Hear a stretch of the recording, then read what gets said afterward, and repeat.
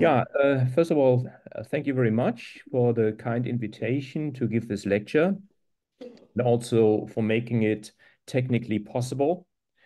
Uh, the title of my talk is Electron Plasmon and Electron Magnon Scattering in Elementary Ferromagnets from First Principles. And I put here this technical word GWT self-energy. And this self-energy combines two methods that you have already learned about this week, namely the GW approximation for the self-energy. The GW approximation describes the scattering of electrons and plasmons. And the T matrix, and that is actually calculated uh, with the Bethe-Salpeter equation. You learned about the Bethe-Salpeter equation in the first talk today. And I would say in, in this case, this is a magnetic T matrix as it describes uh, the magnons. And a magnon is um, the energy quanta uh, of many body spin excitations in an interacting system. And if we combine then the T matrix with the green function, we can calculate the scattering of electrons and magnons. And this is uh, presumably important for magnetic materials. And there is also experimental evidence for that. I show you some photoemission spectra here. First of all, one sees a strong spin asymmetry in the lifetime broadening of uh, bands. You know that if you do a photoemission experiment, uh, you do not only see the bands, you also see a broadening of the bands. And this is not just a finite resolution of the experiment. This is physics. This is called the lifetime broadening of the bands and can in principle also be calculated from GW. I will come back to that later on. Now, um, if we uh, do a photoemission experiment for iron, for example, we see that there is a strong spin asymmetry in the lifetime broadening in the sense that the majority bands, let's say the spin up bands, uh, broaden a lot to the extent that at some point it, they cannot be seen anymore because of this very strong lifetime broadening. Whereas uh, the spin down bands, the minority bands, uh, remain well defined to much larger binding energies. So this could be due to scattering with magnons. Um, there is another observation. Just to switch off my little window here. Uh, there is another observation, namely um, band anomalies have been observed in magnetic materials. For example, in this spin down surface band of iron already about 20 years ago. So they found uh, a kind of a kink structure here. So you see the band does not have this pure parabolic dispersion. They have this uh, kink structure. And since this kink appears at an energy that is a typical magnon energy, so 100, 200 millieV, people have thought that this probably comes from the scattering of electrons and magnons because it looks similar to the kink you see in electron uh, phonon scattering. But this is just a conjecture. This hasn't been proven yet. Now, about five years ago, uh, there was another uh, photoemission experiment by colleagues in Jülich, and they found this zigzag line here in a spin down band of bulk iron. Now, bulk is for us easier to handle or easier to calculate than uh, surface um, states. And uh, this zigzag line here appears at a binding energy which is much larger. It's about 1 to 1.5 eV. So it might be questionable whether this can come from electron-magnon scattering, but we'll see I would like to come back to this first observation. Um, I already alluded to the fact that in GW, uh, we do not only get the bands, we also get the lifetime broadening. And the question would be, perhaps GW alone can already um, explain this strong um, difference in the lifetime broadening between majority and minority spins. And uh, GW self-energy is spin dependent after all. But if we calculate, sorry, yeah, if we calculate uh, the GW band structure and actually calculate the full spectral function, so we would also get the lifetime broadening, uh, we see that there is not much difference in the lifetime broadening between spin up iron and spin down iron. So if you look at a band, for example, this one here and this one here at about the same binding energy, there is not much difference. So certainly not so much difference as we see in experiment. Um, okay, before I start, I want to give you a short overview of the talk. Uh, the talk will be uh, split in two parts. In the first part, we talk about the way how we can calculate many-body spin excitations. We do that uh, by calculating the magnetic response function, which is related to the T matrix, uses the same diagrams. And this is calculated mathematically in terms of a Bethe Salpeter equation similar to the one that you've seen uh, this morning. But we solve it a bit differently. We don't use uh, electron hole Hamiltonian, but rather um, a formulation in Wannier functions.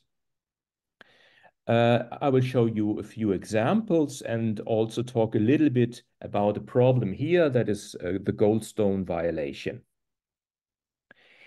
And then in the second part of the talk, we'll, um, I will introduce the construction of the self-energy, namely the GWT self-energy, and this is motivated by iterating Hedin's equations. I'm sure you, you learned about Hedin's equations um, uh, yesterday or the day before yesterday. Uh, and then I'll show you results for iron, in particular a comparison to dynamical mean field theory, and to experiment, uh, lifetime broadening, renormalization span anomalies, also report on magnetic moments, d bandwidth, exchange splittings. And if time allows, I will perhaps briefly talk about another violation, namely the violation of causality, which is might be interesting. And then uh, I finish with my conclusions. Okay, to start with, um, we want to calculate the many-body spin excitations, and we want to do this from first principles. Um, the way to do it is to calculate the magnetic response function. The magnetic response function has peaks, or the imaginary part of it, I should say, has peaks at the position of the many-body spin excitation energies. The magnetic response function gives the change or the linear response, let's say, of the magnetization density with respect to the changes in the external B field. And this already uh, gives you a three by three matrix of response functions. Yeah, it's not just one response function, it's actually a matrix of response functions. A three by three because the magnetization density is, of course, a vectorial quantity because spin is a vector. So you have sigma x, sigma y, sigma z. This is the spin density. And the B field is also a vectorial quantity. We have bx, by, bz. Now, if you do the derivation uh, in, in theory, uh, you realize that you also couple to the total density response function, which gives the change of the total density with respect to changes in the external potential, and also all cross terms. Now, this looks like um, a big challenge to calculate all these response functions, but luckily we can simplify a lot, namely in the first uh, step, if we neglect spin-orbit coupling, because then the full matrix falls into block diagonal form.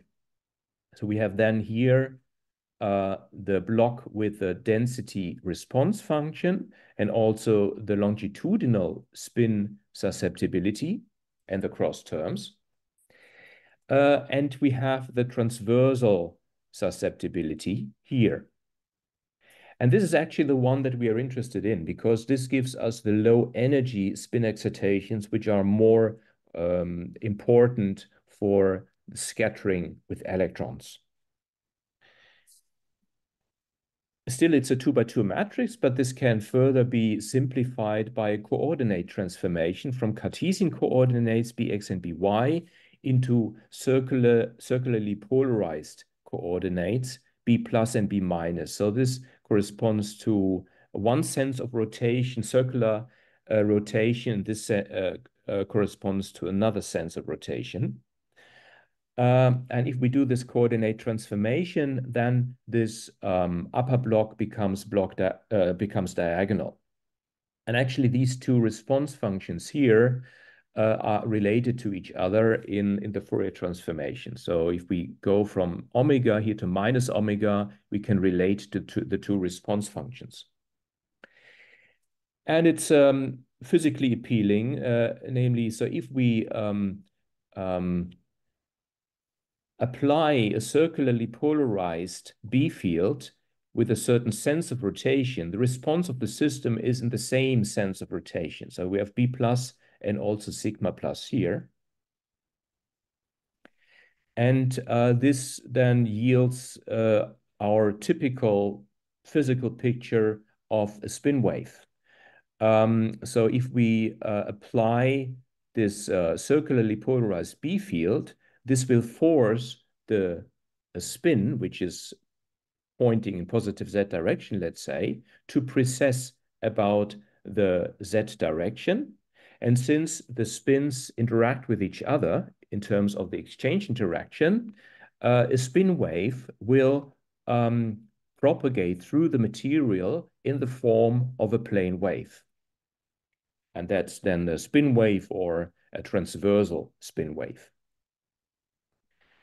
Can also write this mathematically as a spin-spin correlation functional, uh, spin-spin uh, correlation function, uh, similarly to the density-density correlation function, but I don't want to um, uh, focus on that. I would rather uh, describe how we calculate the magnetic response function. Just to remind you, we want to calculate the change in the spin magnetization or spin density with respect to changes in the external B field. Now we can write the spin density in terms of the single particle interacting green function. Uh, and the prefactors here are just the Pauli spin matrix elements. And since we have formulated this in terms of the green function, we can now use all, all the tools of many-body perturbation theory that, that you've also heard about uh, during this week. So instead of calculating then this functional derivative, we just calculate very uh, generally the functional derivative of the green function with respect to an external B field. Now I just leave out all the uh, indices here to simplify the notation. Uh, as a first step, we introduce the Dyson equation, which can be written in matrix form in this way. Then we use the chain rule of functional derivatives. We obtain this expression, uh, which we then can carry out, and we obtain uh, two terms, of which the first one is just the bubble diagram. Uh, this bubble diagram uh, describes the so-called Stoner excitations. These are single particle uh, excitations of electrons, which then undergo a spin flips. So for example, if an electron resides here and we excite it, it might go from, let's say, majority bin, uh, ma majority uh, band to a minority band. So it would also undergo a spin flip in the process. This is, of course, a genuine uh, spin excitation. It's called a stoner excitation. The second term is perhaps more interesting because this term also describes the spin wave excitations that I've described before. And the typical uh, excitation energy can go down basically to zero EV or in the, in the order of milli EV which is different from the stoner excitations, which are uh, typically in the order of a band energy, so one EV or half an EV or something like that. Or rather in the order of, uh, I should say, the exchange splitting. I think Ariasetya, Ferdi Aryasetiawan and Krister Karlsson formulated this um, in terms of the Bethe-Salpeter equation. Um, okay, and uh, also this uh, second term renormalizes the Stoner excitations. It's also an important effect. But still, we cannot do any calculations because we have to find an approximation for the self-energy. And of course, we use the famous GW approximation, uh, which is given by the product of the green function and the screen interaction. We now calculate the functional derivative. You see this is the functional derivative here. We obtain two terms because we use the product rule. The first term is the screen interaction, and the second term is something more complicated. But luckily, the second term can be neglected if we neglect, oh no, uh, is no, not can be neglected, uh, is zero if we neglect spin-orbit coupling. So we can just stick to this first term, and that's also the term that is usually used in uh, the Bethe-Salpeter equation for optical absorption. Uh, so now it doesn't continue. Ah, here we are. Uh, now plugging this first term in the equation that you saw on the previous slide, we end up with uh, this equation here, again written in a very simple form, and that's the Bethe-Salpeter equation. It has the magnetic response function that I call R. It has the actually the magnetic response function of the non-interacting system called K. That's the screen interaction. And then the magnetic response function again and here again written in terms of Feynman diagrams.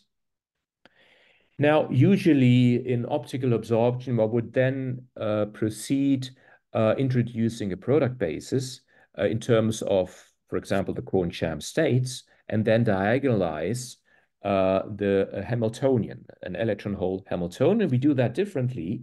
We introduce Wannier functions, because then we can solve this equation as a matrix equation. So we just, if we want to calculate the R here, we just have to invert a matrix. Um, and uh, with the basis of Wannier functions, we uh, resolve all these vertices. Here, this vertex, here, this vertex, this one, this one, this one, this one. So in the end, the magnetic response function becomes a, a function of four points in space. And in principle, also four points in time which can be simplified for, first of all by saying that the Hamiltonian doesn't depend uh, explicitly on time. And the second simplification is that we use the static approximation for the screened interaction. And this is also what is done in optical absorption. We do yet another approximation, and that's very important to make the calculations uh, efficient. Namely, we assume whenever the electron and the hole interact with each other, they are in the same atomic site.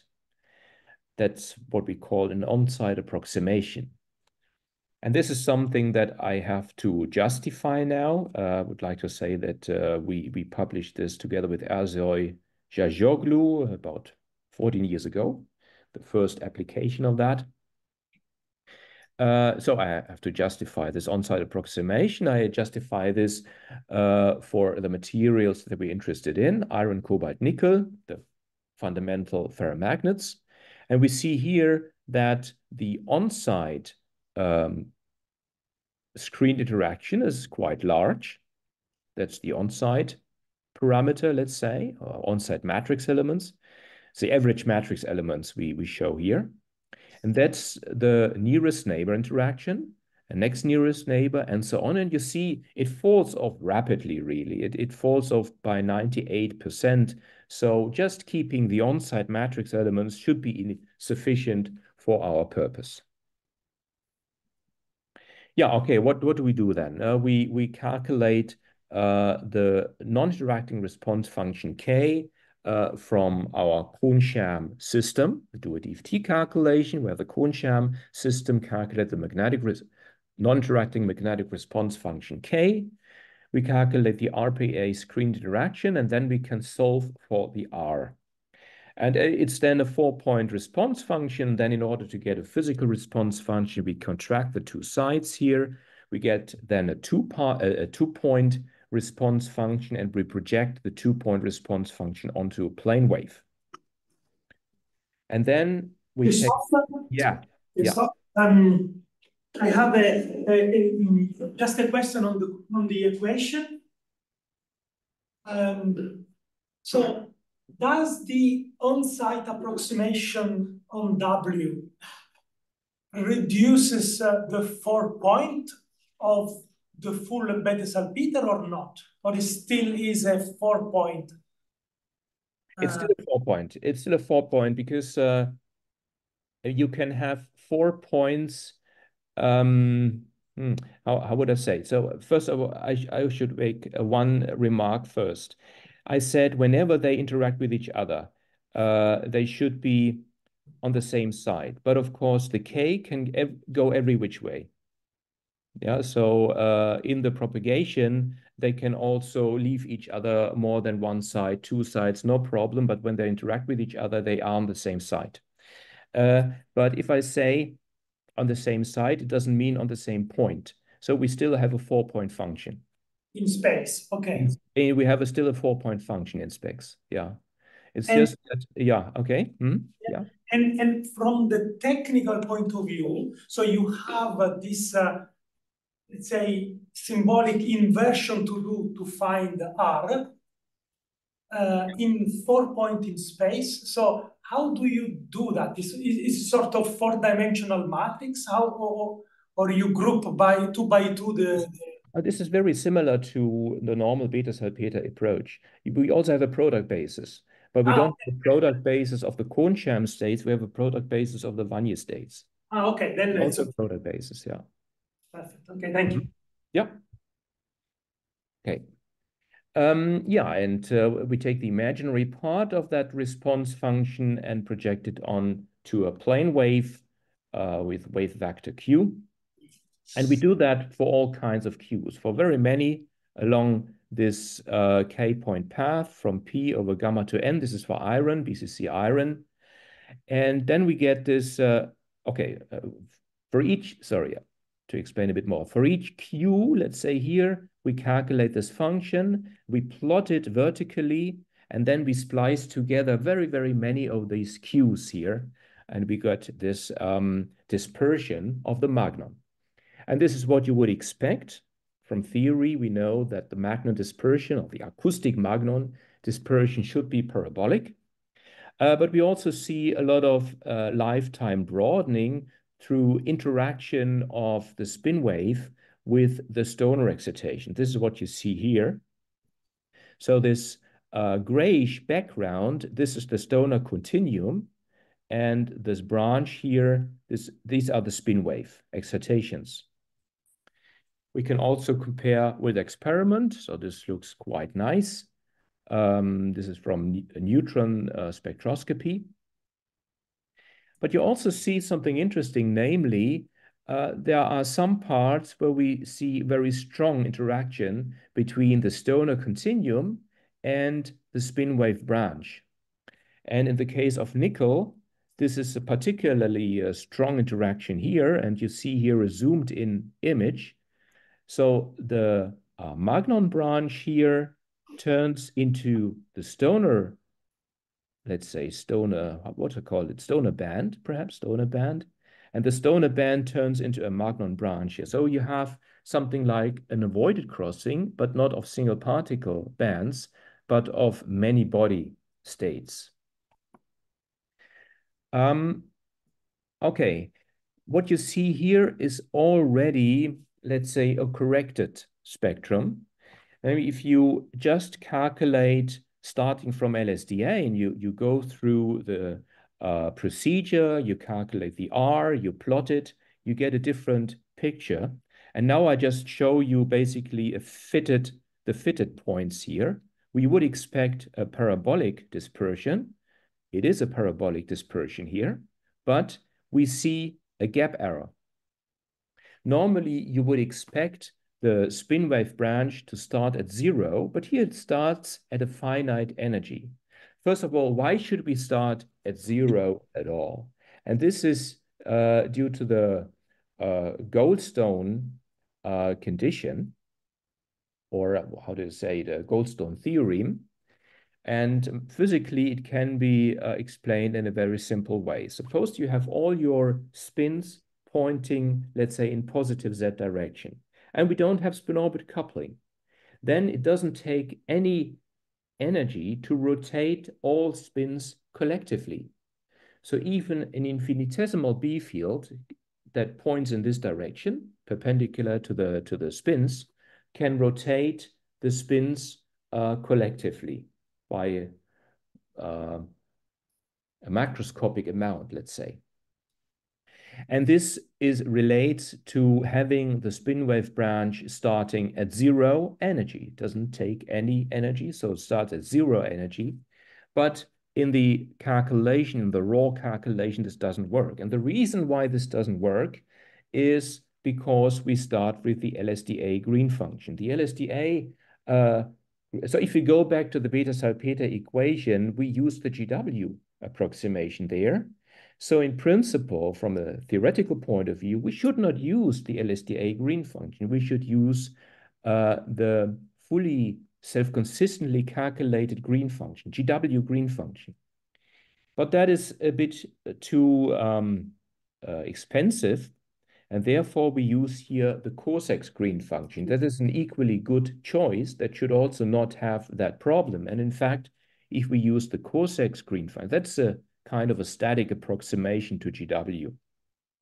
The COHSEX green function then gives us this parabolic dispersion, but the gap arrow is nearly disappears. Well, there is still a little bit remaining gap arrow due to um, yeah, uh, insufficient conversions or so.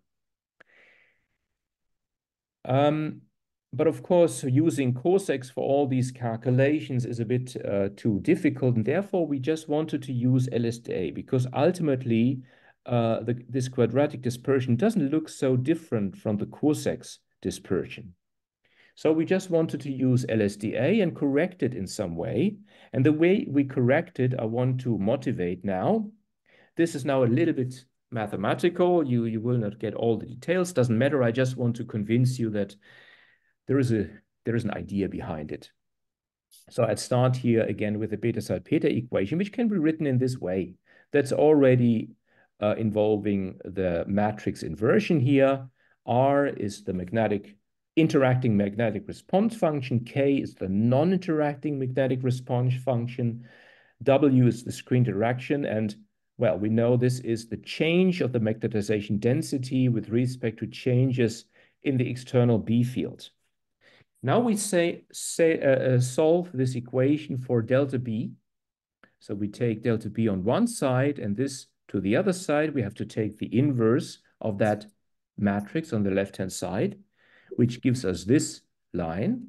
And here I put delta B to zero, and that is simply because of the remark I made before about the Goldstone theorem. So even infinitesimal B field can give rise to a macro macroscopic change in delta M. So we can take the delta B to zero and have something finite here. Then from the intercept theorem, we see that delta M should be proportional to the magnetization density itself. So we can replace delta M by M. And then by rewriting that, we get this eigenvalue equation. That is our Goldstone condition for the interacting system. The non-interacting K times the screen direction W, that's the matrix, should have an eigenvector, which is the magnetization density, with eigenvalue 1. Now we have to uh, make the connection to LSDA, to density functional theory. So we formulate the same thing for the Kohn-Sham system. Then instead of the interacting uh, magnetic response function, we have the non-interacting magnetic response function, which gives the change of the magnetization density with respect to changes in the external exchange correlation B field. That's the B field, that part of the exchange correlation potential that uh, creates the magnetization in the Kohn-Sham system.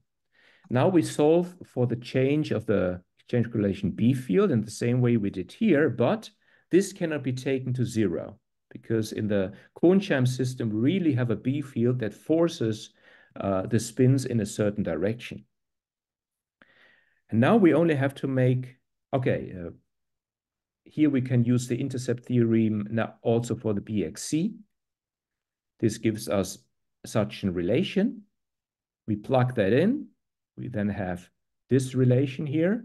And now we take we we uh, um, insert the Goldstone condition here, and we obtain BXC equals WM. And the long wavelength component of the exchange correlation B field is just the exchange splitting, delta X. And this delta X is related then to the W and to the magnetization density. So we have to make sure that our LSDA system fulfills that equation. Um, and okay, how can we ma uh, make uh, make this sure? Uh, we cannot change the W. That is just calculated from RPA. We cannot change the magnetization density because this comes out of the DFT calculation. But we, what we can do is we can change the exchange splitting because that is just shifting spin up and spin down states with respect to each other uh, until the Goldstone condition is fulfilled. Of course, this is a very pragmatic approach but it's uh, just uh, motivated here. And that is what we do. We calculate LSDA, change the exchange splitting, and then continue. And we just have to compare this now to and we see that these green points, the corrected LSDA, in fact, nearly lie on top of. So the corrected LSDA mimics COHSEX in this, in this um, situation. Now I continue with constructing the GWT self-energy. And I want to do that by uh, iterating Hedin's equations. You know that if you iterate Hedin's equations, so there's uh, five different um, integral differential equations, in principle, you would uh, end up with the exact solution, but numerically, we cannot afford to do such a calculation. It's too hard. But we, what we can do is we can theoretically create higher and higher orders of uh, the self-energy diagram. So by iterating to Hedin's equation, we get in the first uh, cycle the famous GW self-energy. Um, and then uh, if you iterate further, you get these uh, second, the second order diagram, the third order diagrams here, Okay, this is here shown up to a third order in the screen interaction. And actually, these two diagrams are the first diagrams, the lowest order diagrams that can uh, couple two different green functions. Because if you look at these other diagrams, this one, this one, this one, this one, and so on, there is always a green function going all the way through the diagram. And as long as you don't have spin-orbit coupling, uh, you cannot couple here spin up with spin down because this green function will always be in the same spin channel. But here, for example, here, we can have this electron in one spin channel and this hole here in another spin channel. And the combination of the spin up, let's say spin up electron and spin down hole, is a part of the solution of the Bethe-Salpeter equation. It's a ladder diagram. So this is what we would obtain from the Bethe-Salpeter solution. And here it is combined with a green function to make a self-energy diagram out of it. Uh, this diagram is something that we have not implemented. It describes a different process because here we do not have an electron and a hole, but we have two electrons or two holes, the same, always the same particle. That's also uh, important. It gives rise to, for example, the 6EV satellite in nickel. Um, but we have not implemented that because we wanted to focus on the magnetic excitations, in particular the magnon excitations and the scattering with the electrons. So we implemented uh, this diagram here and also all higher order diagrams. So the third order, the fourth order, the fifth order, up to infinite order. Interestingly, we start here with a third order. We don't start with the second order, for example, or the first order. And I will come to that in, in uh, two slides, I think. And so it's interesting that, that Hedin's iterating to three Hedin's equations actually tells us start from the third order, do not use the second order. And why this is so, we will see later on. We can uh, draw this particular uh, self-energy in terms of a Bethe-Salpeter equation. See the third order and then all higher orders uh, written in terms of this so-called T matrix. Um, yeah, and this is what we call GT self-energy, and then we simply combine it with, with GW by adding the two self-energy simply. We are not the first who used this uh, approach. For example, already or many years ago, a group of uh, Ferdi, Aryasetiawan with Krister Karlsson and Martin Springer, Martin I think was his first name, they calculated the 6 eV satellite in nickel that I mentioned before. Um, Zhukov, Chulkov, Echenique calculated lifetime effects in nickel and iron. Uh, then there is this theoretical work by Romaniello, Bechstedt, and Reining, diagrammatic expansion and considering different uh, uh, scattering channels, T matrix and GW and so on. And then there is also about two years ago, I think there is also now a second paper uh, by, by Pina. Uh, she considered the particle-particle channel in molecules in finite systems. Okay, uh, we would like to interpret now this diagram a little bit to get a little bit of a physical understanding. So you might have heard in uh, the talk yesterday about, about GW, the inter physical interpretation of this diagram, namely we have an incoming electron here, which emits a plasmon. This is a plasmon propagator, and it absorbs the plasmon later on, continues its propagation, and that's how the energy of the uh, of the electron is normalized. In the GT self-energy part, we can interpret this in, in a similar way. We have an incoming electron, which emits a, a magnon, and later reabsorbs the magnon and continues its propagation. And uh, we can see this also in the spin direction. So if we have a spin up electron before, after emission of a magnon, which carries away a unit spin, we have spin down. So electron has split, flipped from spin up to spin down due to spin conservation. And later, when it reabsorbs the magnon of unit spin, it the, the spin of the electron flips back. So that's quite intuitive to understand. Uh, you might see that GT is a bit more complex diagram because here we have only two inner integration variables at three and four, and here we have four inner integration variables at three, four, five, and six. The Magnon propagator is a four-point function, and we keep it as a four-point function uh, in our um, uh, calculation. would like to stay with this interpretation for, for a moment. So the way I have explained it now also uses a time uh, arrow. So we have first the emission and later, at a later time, we have the absorption of the magnon. But I have mentioned before that this is an inner integration variable, and in principle, these two times could also be before these times then the diagram looks different, but topologically it's the same diagram. It would look like this. So, and then how do we interpret, interpret this? We have an incoming electron, which emits a magnon, and then the magnon carry, uh, uh, travels back in time, and also the electron rushes back in time like crazy, and then absorbs the magnon here, and then continues its propagation. That's an absurd interpretation.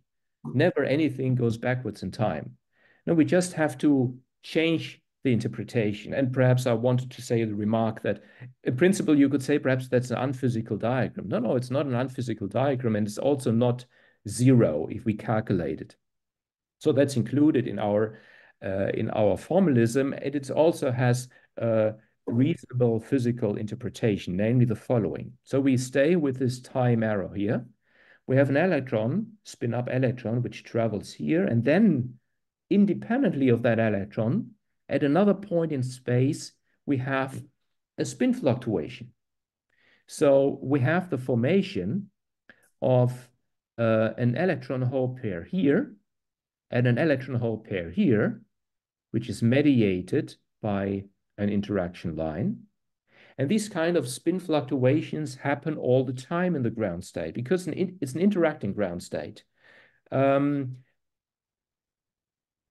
in in a, um, in non-magnetic systems, you also have these um, fluctuations, uh, density fluctuations. Um, and also in a vacuum, for example, in quantum electrodynamics, in a vacuum, you can have the spontaneous formation of uh, an electron-positron pair. So that's the analog of the vacuum fluctuations that you probably know. Okay, and then uh, while the, the hole here and the electron here form a magnon, which now carries forwards in time. And then this hole eliminates the electron, and this electron here is left over and continues the propagation. Yeah. You could also understand this as an exchange diagram where this electron stands in for that electron.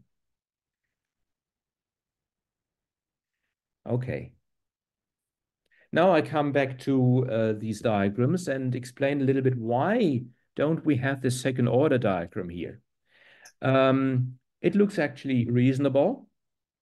First of all, you could say, wait, if we add the green, uh, if we add the GW diagram, we might have a double counting. Yeah, this is sort of correct.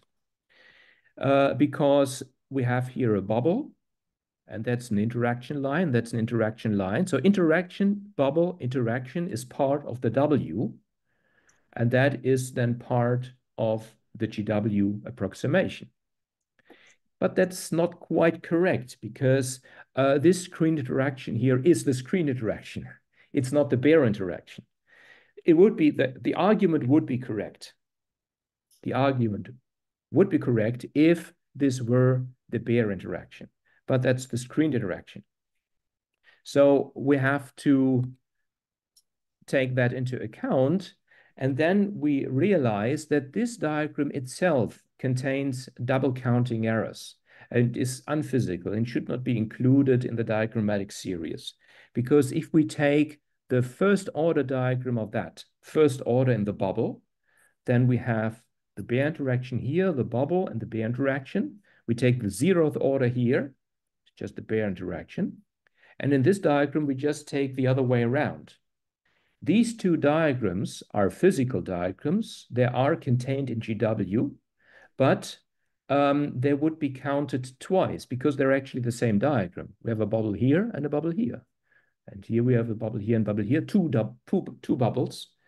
And it would be a, a, a double counting. We don't want that. So that would be unphysical double counting. And that is actually nice about the Hedin's equations that it only gives us the physical diagrams and it does not give us the non-physical, the unphysical diagrams that if we draw the diagrams naively, we might have come up with such a diagram that shouldn't be used. Okay, then a few uh, remarks about the implementation, we have to calculate the Dyson equation or calculate the fully uh, renormalized Green function through the Dyson equation. Uh, usually this is written in terms of, of a quasi-particle equation, then you very often also linearize the self-energy. We, we don't do that here because we need to get all the, the lifetime effects. So we uh, calculate the full renormalized green function, and then we take the imaginary part of the green function, take the trace over the imaginary part of the, green, of the green function, and that gives us the spectral function.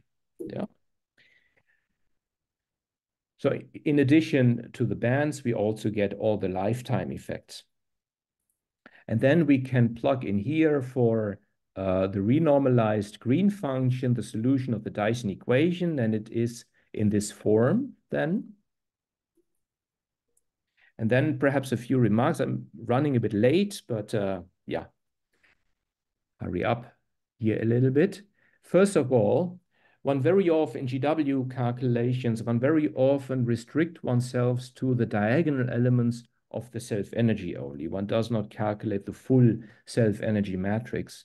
But in this case, this would lead to a wrong uh, band dispersion. You see this in blue here. So perhaps to go through all the lines, uh, the, the red is uh, LSDA, the, the blue is GW retaining only the diagonal elements of the self-energy, and you see this very unphysical dispersion here. This is certainly nothing reasonable. Uh, but if you take the full self-energy matrix, we get the green lines, and then uh, we get a reasonable band dispersion here. So for iron in particular, it was important to keep the full self-energy matrix. And then perhaps the other point, uh, I've already uh, talked about uh, the violation of the Goldstone condition. We corrected by this uh, correction of the LSDA exchange splitting. And in the case of iron, this gives rise to a correction by 0.23 eV. And we make another uh, little correction here. And this is uh, due to the following problem. In the, the calculation of um, uh, self-energy corrections of metals. So if you do a self-energy correction in metal, you might you also have to recalculate the Fermi energy. But very often, if just do a GW calculation, the Fermi energy is then uh, not anymore in the same position in, as the DFT Fermi energy. Uh, and then you you might for example, uh, have uh, features in the spectral function, like band anomalies, that appear on the wrong side of the Fermi energy. And another problem is if you look at the spectral function, it should become zero at the exactly at the Fermi energy. But if we correct the Fermi energy, it's not zero anymore there. Uh, and the spectral function would be qualitatively incorrect. And therefore, we introduce here a little parameter which simply adjusts the exchange uh, correlation potential of DFT in such a way that um, the Fermi energy does not change from DFT to GWT. And this is a correction uh, that was already uh, suggested by Lars Hedin in his seminal, I think it was already in the 1965 paper or it was in the in the review from the late 60s. Oh, it was already the 1965 paper. Yeah, yeah, okay. And in this case, it's uh, nearly one EV, is a quite large correction. But I would like to say that this is really adding a single number on the exchange correlation potential everywhere in space. So if you did a Kohn-Sham calculation, you wouldn't even see this change because it would just realign all energies but in many body perturbation theory, it has an effect. Um, but another remark I want to, to make here is that uh, this parameter and also this parameter here are fixed by exact physical constraints. So we just don't, we cannot play around with them. We, we determine them uh, also from first principles. Then if you calculate a spectral function here for a simple material, silicon, um, you do not only get the quasi-particle bands together with uh, the band broadening, you also get some additional features you, that you would not see in DFT calculation. So in DFT, everything would be black here. But if you do GW, you get something here. And this is what's called plasmon satellites and can be understood uh, by the fundamental photo emission process. So when the photon comes in and kicks out an electron from here, for example, the photon energy might not go fully into the electron, in, into the kinetic energy of the electron. Part of the photon energy might be um, uh, wasted in a many-body excitation. For example, a plasmon excitation. And then the electron that leaves the material seems to have has a lower kinetic energy and therefore seems to have come from a lower or higher binding energy or from a lower from a lower total energy. Uh, and therefore you get such uh, uh, features here, such plasmon satellites. They can also be seen in photoemission spectra. Now, in the electron magnon scattering, we do not deal with the large energy of a plasmon. So only because this energy is so large, we have a nice separation of the quasi-particle bands and these plasmon satellites. The difference is more or less 20 eV or something like that. In the magnon excitations have a much lower excitation energy, 100, 200, 300 eV. So you can imagine the uh, renormalized band structure to have a much richer structure. And this is in fact the case. So here I show you the first GWT calculation. This is the spectral function for iron, spin up and spin down. And you immediately see that the spin up uh, bands are much more strongly, much, yeah, much more strongly broadened than the spin down bands. And this is already a qualitative explanation for this very big difference in the lifetime broadening that we've seen in experiment. And this lifetime broadening is so strong that in fact that the bands here just disappear. So we have a band in DFT, but this band just disappears in the GWT calculation. We just get a very broad feature here, and that is simply due to lifetime broadening. It can be, this uh, uh, effect can be understood uh, in the following way. Um, in a situation where we have a spin up hole, yeah, or create an up hole, spin up hole, um, this hole has a lot of phase space to form a magnon together with an electron, spin, spin down electron here. That is simply due to the asymmetry of the density of states of a ferromagnet. Whereas if we create an, an, an, a hole here, spin down hole here, we have much less phase space. And that's why uh, the broadening of the, of the quasi-particle bands is much smaller here than in the spin-up channel. We also get quite nice agreement with uh, dynamical mean field theory. So if you just compare uh, this spectral function from DMFT with the spectral function of GWT, um, it looks actually quite similar. And you also get here the very strong uh, lifetime broadening. And also in the spin down channel, we get very nice agreement, but we also see differences. And this is, of course, where uh, where things get more interesting. For example, here, this band is not seen in GWT. It is seen in DFT, it is seen in DMFT, but it's not seen in GWT. The band just remains below the Fermi energy, never crosses the Fermi energy. And the same can be said about this band here. It just stays below the Fermi, en Fermi energy. Uh, yeah. We see another difference. We have a clear quasi-particle band here, but we have nothing in DMFT. And another difference, we have a band anomaly here. There is no such, sorry, there is no such band anomaly here. Now I'll go through all these differences and compare with experiment. If you uh, insert here all the photo emission data points, we see that there is actually no photo emission data point that would suggest that there should be a band crossing the Fermi energy. And also here, there is no point here, although we have this, this point here and we have that point here. So it seems that in, ex in experiment, in fact, the band should stay below the Fermi energy. And we can also compare with this uh, Fermi surface map experimentally uh, um, uh, determined, uh, then we do not see any pocket that would suggest uh, that a band crosses here. The lines that you see here are from DFT. but in the experiment, there is in fact nothing. You may ask a question? Yeah.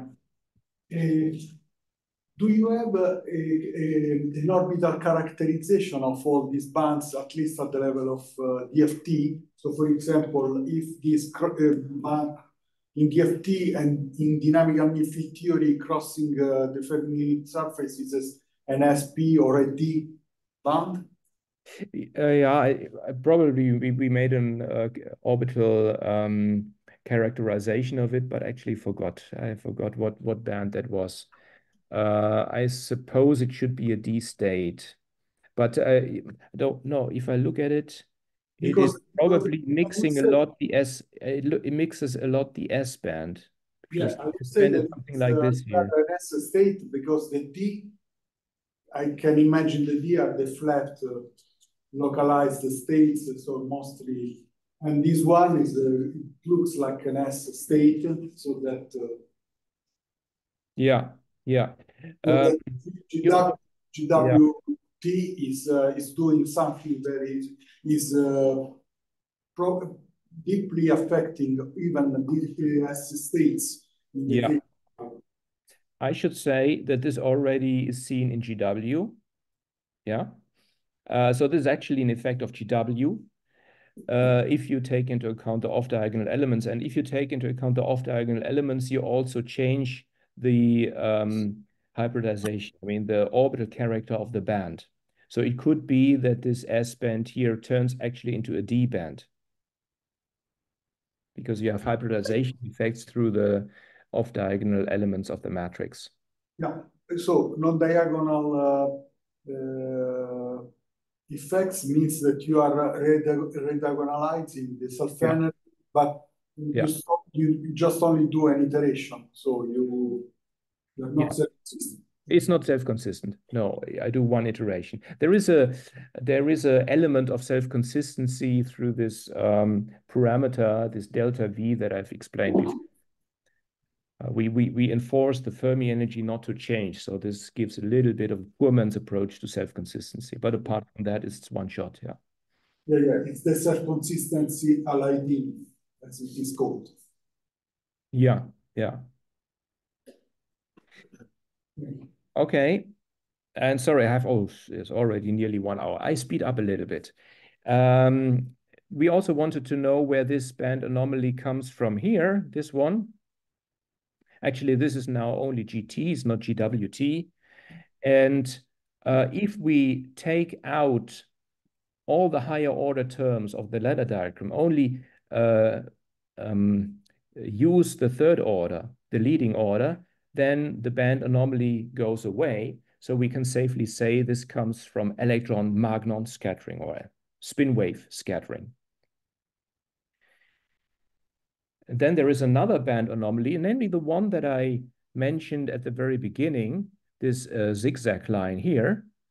In GW, we don't see any band anomaly at all. So this is experiment, this is theory. But if we do a GWT calculation, we in fact see the band anomaly, and it just appears at roughly the same uh, wave vector and roughly the same uh, binding energy. And it also has a very similar form. And in fact, in this particular case, the theory was before the experiment. So we, we showed this to our experimental colleagues, and then they reinvestigated their data and they found the, the kink structure there. Um, now the question remains, why should that be at such a high binding energy? That's not a typical Magnon energy, and that's simply because I would like to be very briefly on that.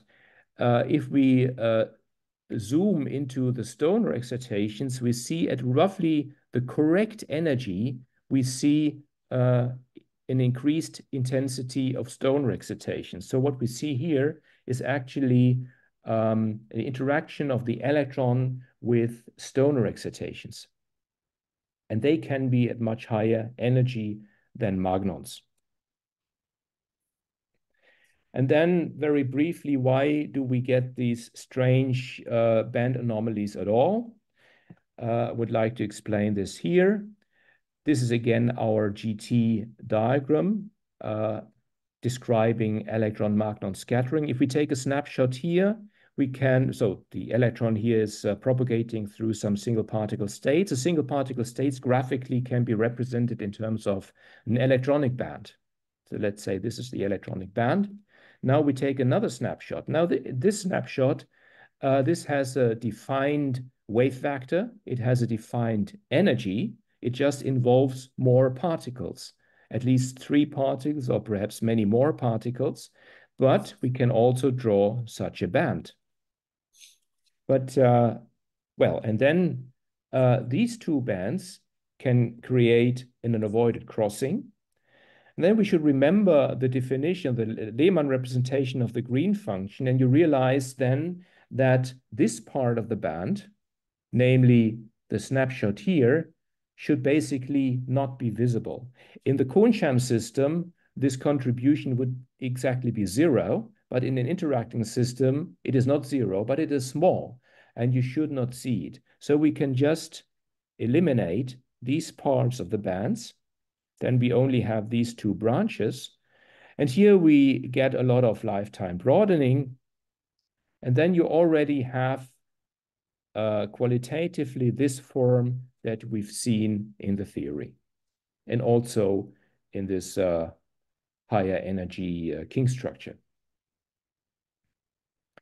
Then very often, if you introduce a new method, um, you might uh, improve one thing, but you worsen another thing. And therefore, we also wanted to calculate with GWT all these uh, magnetic quantities like the magnetic moments, spin magnetic moments, uh, d bandwidth, and exchange splitting. I don't want to go through all the table. I just want to give you the best agreement always with experiment. These are the green markers here. And you see GWT actually performs quite well compared with LSDA, GW, and GT alone. And here we have, let's say, a hole, but we can fill this hole by considering the second best agreement. Okay, and yeah, perhaps I should uh, finish now. I also have this violation of causality, but uh, I skip that. And I just want to acknowledge a few people, namely uh, Dima Nabok, who did all the calculations and all the interpretation of the GWT self uh, spectral functions. Matthias Müller implemented the T matrix, and I would like to um, acknowledge fruitful discussions with our colleagues from the experimental department. She's now in Krakow, and Stefan Blügel. Thank you very much.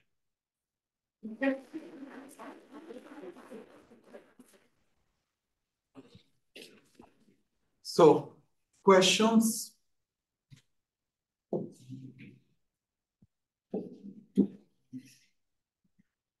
Okay, I will start.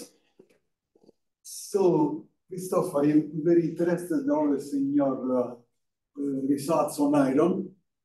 And uh, I would like you to ask you, uh, so uh, again, back at the um, spectral function in iron, yeah, one. So, uh, so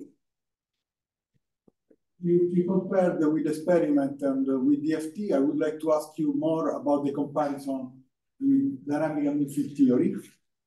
Mm -hmm. If you know what are, what were the ingredients of the dynamical mean field theory? Yeah, there was Flex, a Flex solver. Uh, so Flex um, contains actually more diagrams than we contain. It has the GW, it has the T matrix. Uh, it also has the the exchange T matrix, not the direct T matrix only. Um, but of course, everything restricted to a single atomic site. So there is the approximation in DMFT, and we have basically do uh, we basically do the calculation in, in the full crystal.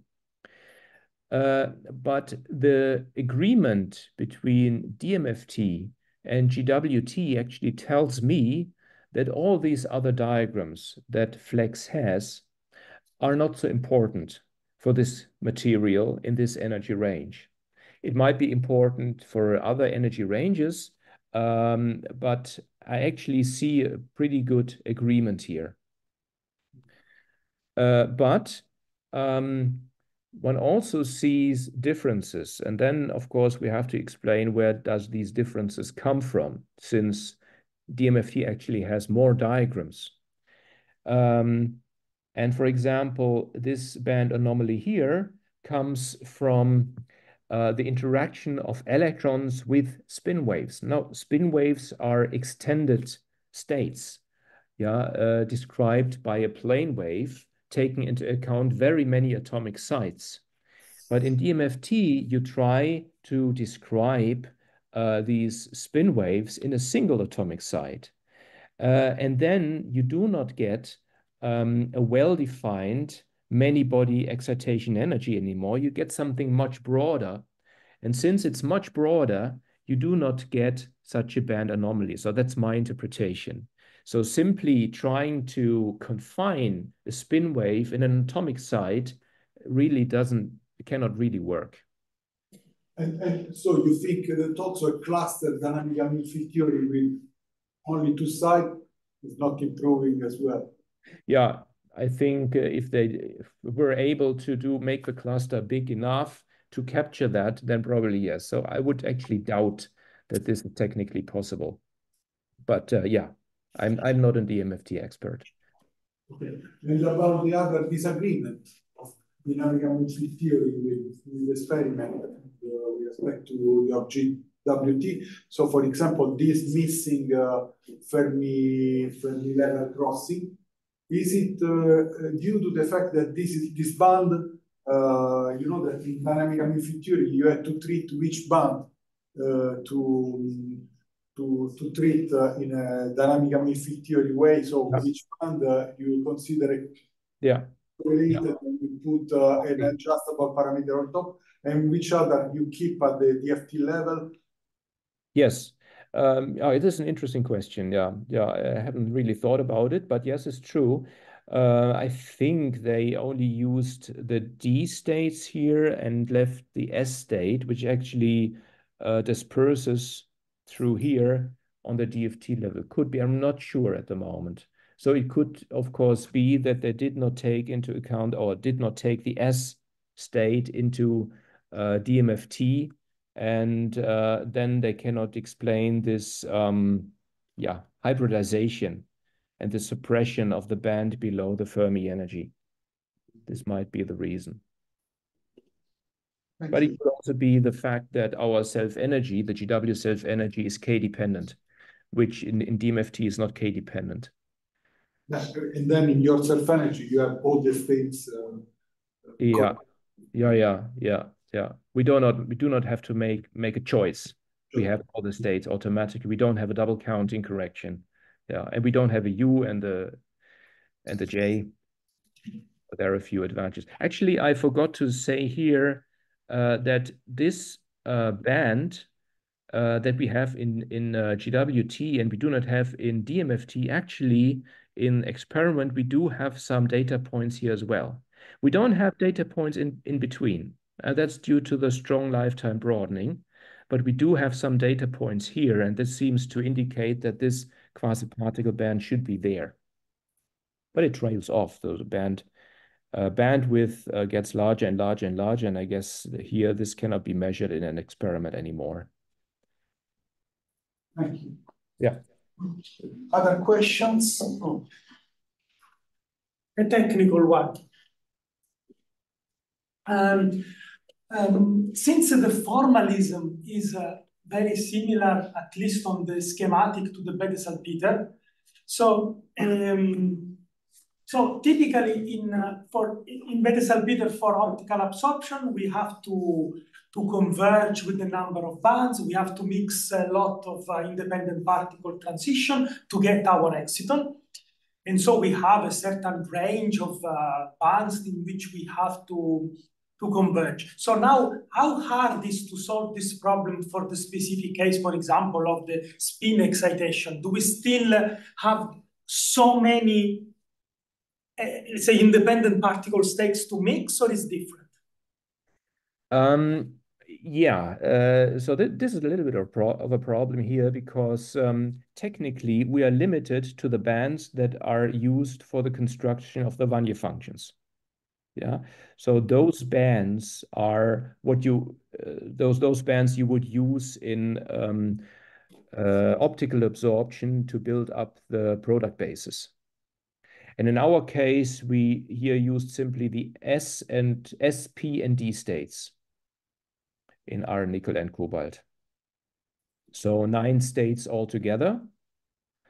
Uh, and they make up the Wannier functions. And technically, those are the bands that are taken into account in the solution of the Bethe-Salpeter equation. Of course, we could go beyond that.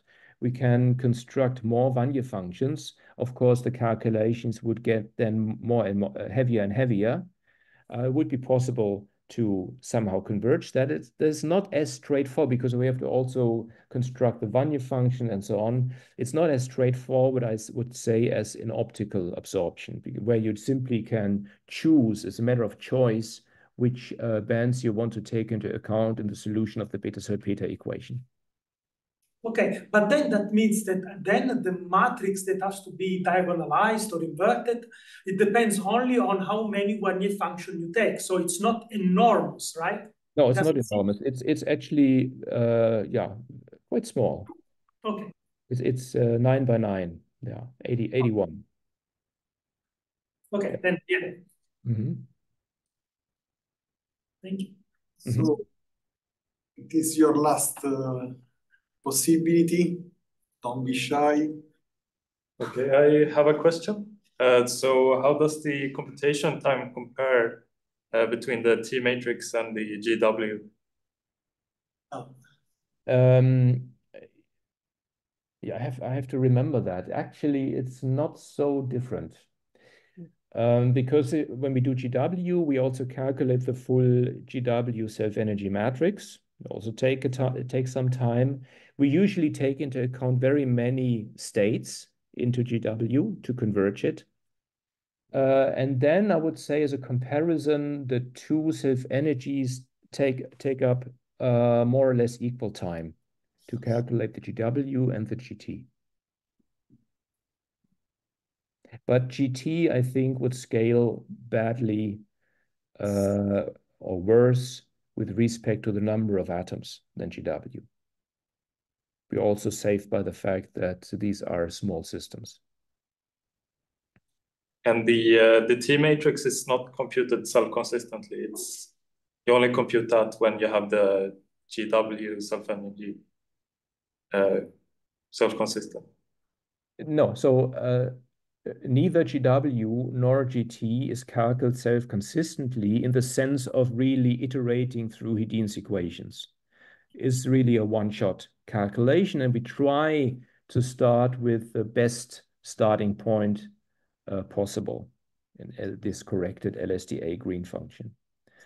Uh, but it's not self-consistent, but it includes infinitely many diagrams. So in this sense, it is uh, self-consistent, but, but not really cycling through the Hedin's equations. Mm -hmm. and, we thank you again. So Thank you too. Have a nice day. Bye. Okay. Thank you.